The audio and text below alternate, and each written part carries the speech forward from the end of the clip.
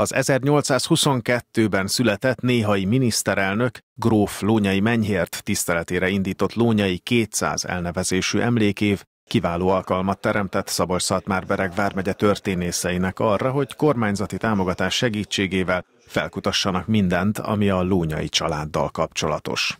Az emlékémnek a vége felé tartunk. Köszönet a tuzsériaknak, a minden egyes szereplőjének, aki részt vett az emlékévnek a lebonyolításában, minden egyes helyszínnek. Elsősorban persze ez Lónyai Mennyhihetőről szólt, az ő munkásságáról szólt, de menet közben a Lónyai családról is olyan fontos kordokumentumok, családíratok kerültek elő, ami mellett nem ment el észrevétlenül a Lónyai emlékévését, olyan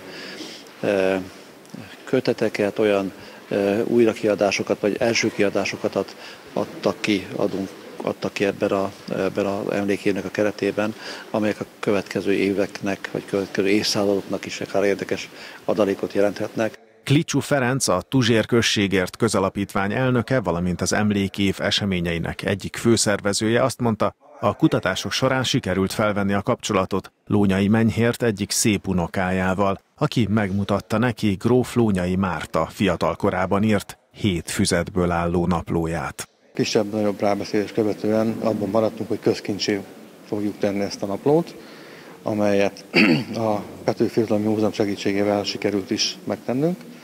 Ugye hárman éreztük a könyvet, Besán, Jankovics Besán Dénes gróf úr, Ugyanusz János Báró, családtörténetkutató, és ugye Komárami Csaba, a Petőfi Irodalmi Múzeum munkatársa. Ilyen kerülő utakon jutott el végül a nyomdáig, és jelent meg a Gróf kisasszonyok a 20. század elején című könyv, amelyet Lónya és Tuzsér után Nyíregyházán a megyeháza dísztermében is bemutattak. Ennek a könyvnek a szerzője, a Lónyai Márta, az én nagyanyám nővére. Tehát az én majd itt szól is lesz róla, hogy nagyanyám, akit Bibinek szólítottak, az a húga volt, és tulajdonképpen kettejükről szól ez a napló.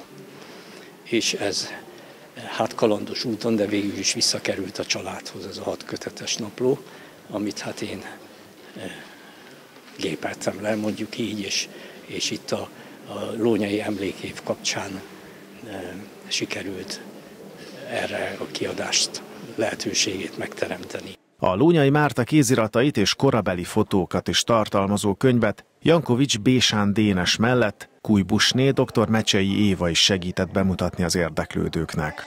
Nagyon ritka az a lehetőség, mikor ego dokumentumokat, tehát magánforrásokat találhatunk, és ezekkel tölthetjük meg igazándiból lélekkel a történelmi ismereteinket.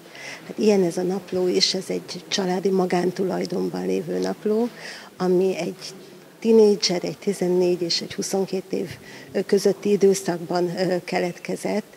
A tinédzsernek az életét mutatja be, és azt az időszakot, amelyet sajnos neki meg kellett élni, hiszen az ő tinédzserkora éppen az első világháborúra esett. A napló alapján Lónyai Mártáról megtudhatjuk többek között azt is, hogy már egészen fiatalon széles körűen tájékozott volt a politikában, több nyelven beszélt és írt, emellett portrékat festett, zongorázott, rendkívül sokat olvasott, ugyanakkor értenie kellett a varráshoz, illetve főzéshez is. A levéltárigazgató úgy fogalmazott, a naplójegyzetek alapján sajátos képet kaphatunk a korabeli arisztokrácia hétköznapjairól.